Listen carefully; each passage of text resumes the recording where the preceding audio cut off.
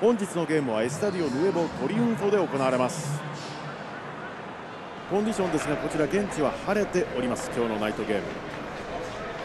このゲームの解説はおなじみ元日本代表ミッドフィルダー北澤剛さんです。どうぞよろしくお願いいたします。よろしくお願いします。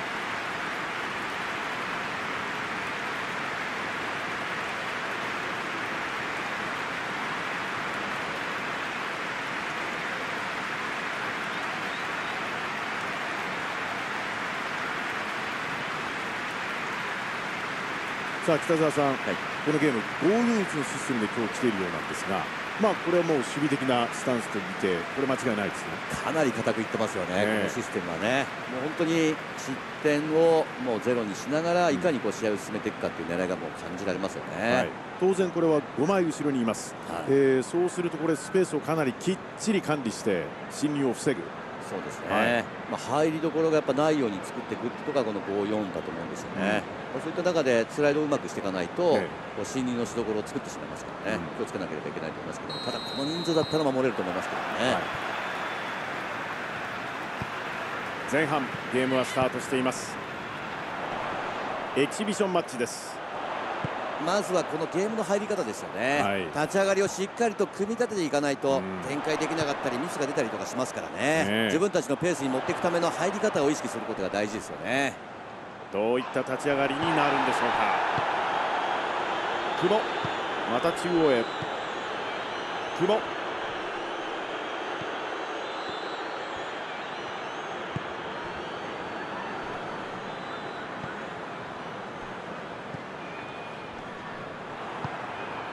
久保。アウェー側としては先ほどからサイドの活性化が目立ちますけどもね。サイドシュートいや足奥でシュート。しかし決まりません。足元につなぎながら今なんかも少しアバウトになりましたけどね。スペースに出していくっていうこともテラとしては必要かもしれませんね。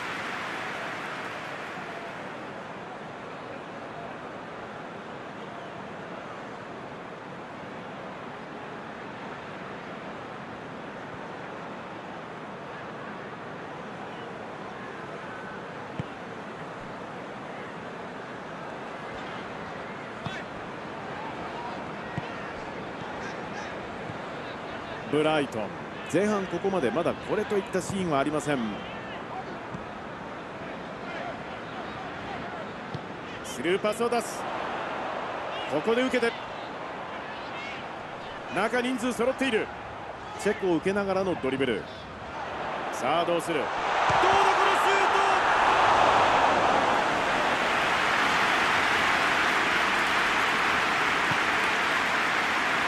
ート。久保。久保。ここはつながりません。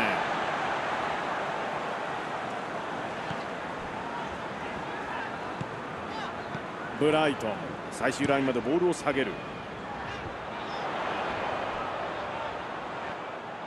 うんこのパスはキーパーへ。久保。久保。久保。ロングボールを縦に送る。ボールはクリア。ブライトン。あわやというシーンでしたがここはしのぎます。両チームともまだファーストハーフここまでは0対0久保。久保。速いパス回し。サイドを使います。もう一つ前に行きたい。枚数いる。中につなぎたい。久保。サイドへ。久保。さあどこに出してくる。久保。プレスからボールがこぼれる。ここで前半が終了しました。まだスコアレスです。北澤さん前半振り返って一言お願いします。消耗している中でその士気をそういった形でどうするかですよね。まあ、本当に変えることによってね、それ本当勝負どころになる可能性はもちろんありますしね、ただ変えたことによって今までのバランスを崩してしまうこともありますからね。前半互いにノースコアのまま後半を迎えますセカンドハーフゲームはスタートしています。まあ非常にタイトなゲームになってますけども、ね、後半立ち上がり非常に大事ですよね。そうですね。ボールをクリア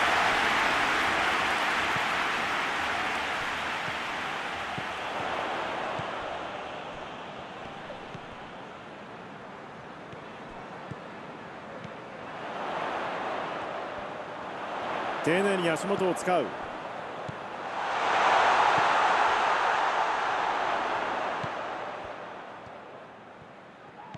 ここで前を向けるか。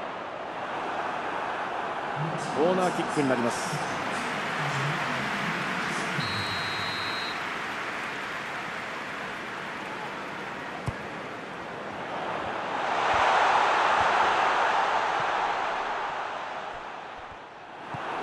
久保。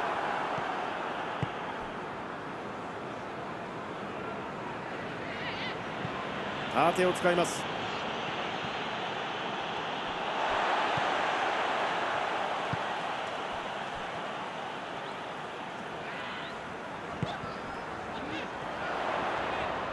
動きましたよ。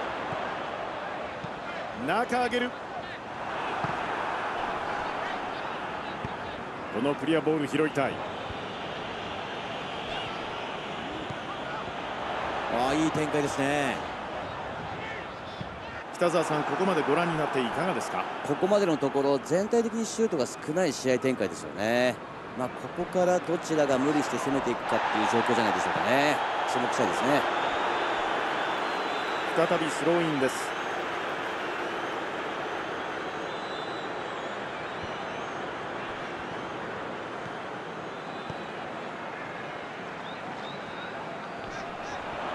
いいプレッシャーいいとこまで攻めたんですけどもね。この終盤でのせめぎ合いは最後まで目が離せませんね。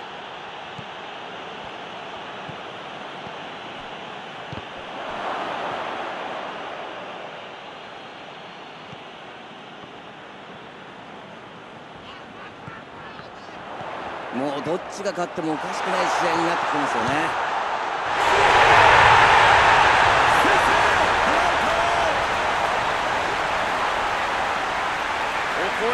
試合が動きます決まりましたねシュート前の一歩で勝負あったか。キレのあるスルーパスからの一発。タイミングバッチリですよね。これは場所によってシンプルに見えますけど非常に難しいんですよね。これポイントしかないですからね。非常に素晴らしいボールになりましたよね。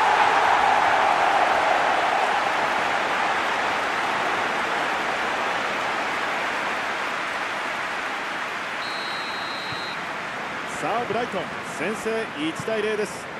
ブライトンとしては大きな1点が入りましたよね、はい、これで無理する必要はなくなりましたよね。そうですね。そのいかルーズボール。残せるか？もう一度奪ってカウンターを狙うしかないでしょうね。ここで笛です。1対0ブライトン1点差。接戦を見事制しました。いや北澤さん最後の最後に試合が動きました。いや終わり間際で見せてくれましたね。笛が吹かれるまで諦めない。やはりその気持ちを最後まで持てたかどうかっていうことですよね。そうですね